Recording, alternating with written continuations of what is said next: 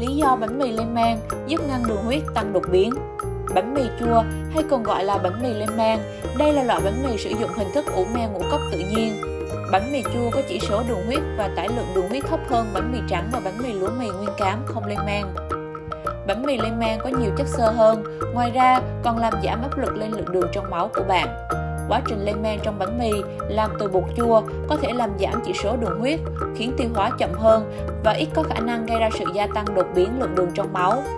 Đồng thời giúp cải thiện sức khỏe đường ruột và ảnh hưởng đến quá trình trao đổi chất, giảm mỡ nội tạng. Các axit tự nhiên trong bột chua cũng làm chậm quá trình tiêu hóa carbon hydrate. Chúng ta bị tăng đường huyết đột biến khi ăn carbon hydrate đơn giản như đường và ngũ cốc tinh chế, đặc biệt là khi không kết hợp với protein, chất béo hai chất dinh dưỡng làm chậm quá trình tiêu hóa.